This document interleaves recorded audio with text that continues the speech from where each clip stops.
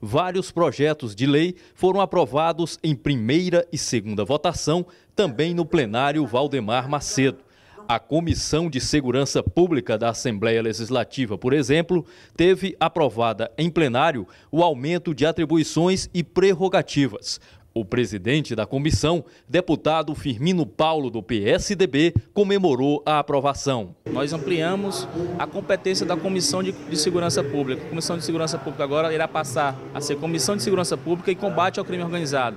A Comissão de Segurança Pública antigamente só fazia aquela adequação às políticas públicas voltadas à segurança pública. E agora nós temos ampliado a, o rol de competências da Comissão de Segurança Pública. Os contribuintes que estiverem em débito com o fisco estadual têm agora até o dia 31 de agosto para acertarem as contas. Mensagem do Poder Executivo que trata do parcelamento de ICMS e do Refis foi aprovada tanto na Comissão de Constituição e Justiça quanto no plenário Valdemar Macedo. O projeto do Poder Executivo Estadual recebeu emendas do deputado João de Deus Souza, do PT, líder do governo. A atual lei que está em vigor, ela se vence dia 30 agora, houve aí uma mobilização de vários setores da sociedade para que nós pudéssemos é, prorrogar esses prazos. Então o secretário da Fazenda, junto ao governador, encaminhou para cá uma matéria nesse sentido, prorrogando, portanto, até o dia 31 de agosto. E nesse sentido, nós fizemos uma emenda, também a pedido da Secretaria da Fazenda, para que nós pudéssemos garantir as negociações em curso das pessoas interessadas é, que querem parcelar suas dívidas. E o primeiro orador inscrito na sessão plenária, o deputado Joel Rodrigues, do PTB, ocupou a tribuna e destacou ações de saúde na cidade de Floriano, da Princesa do Sul para o município modelo. O deputado Pablo Santos, do PMDB, também enfatizou ações no setor de saúde na cidade de Picos. Nós temos que tentar melhorar a saúde do povo, a gente tem, nós temos que melhorar o número de, de, de, de, de cirurgias no interior, com relação às cirurgias de especialidades, a gente tem que melhorar com relação às UTIs também na, no interior, que a gente é, que na, na minha região é uma região muito carente, que é a região, região de Pix, uma, uma macro-região que engloba quase 500 mil habitantes, então nós estamos trabalhando para tentar melhorar a saúde não só da minha região, mas a saúde de todo o estado do Piauí.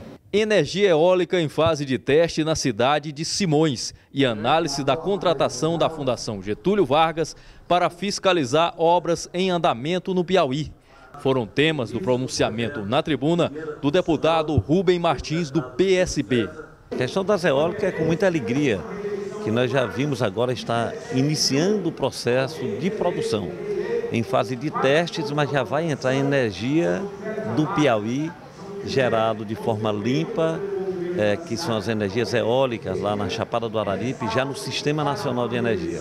Para nós é importante, só ressaltando, que manifestamos ainda nossa preocupação na questão das receitas oriundas desse, dessa produção de energia, que não foi ainda dada uma solução. Alertamos o governador Wellington Dias sobre a necessidade de um entrosamento político maior com todos os estados que também estão com a mesma problemática, e o mais importante, o município do Rio Grande do Norte, no sentido de procurarmos uma solução. E o deputado Antônio Félix, do PSD, repercutiu a reunião realizada no Tribunal de Contas do Estado para debater a aposentadoria dos servidores públicos. Nós temos várias pessoas do Poder Legislativo querendo se aposentar, né? querendo buscar a sua aposentadoria e não está podendo é, fazer essa, esse, esse, essa aposentadoria. Então, tanto o Tribunal é, buscou esse entendimento com a Assembleia, com o Ministério Público, com o Tribunal de Justiça, a, o Executivo, através do, secretário de, de, de, de, Administração, Franzé, e o Mark Stein, da, do, da, do IAPEP, no sentido de encontrarmos uma solução que não vá trazer nenhum prejuízo ao servidor, nenhum prejuízo aos poderes, contanto é que nós temos que fazermos um, um uma solução para os servidores e da, para a Previdência. No caso do Executivo, ele já iniciou o seu recadastramento de, de, de servidores inativos do Estado.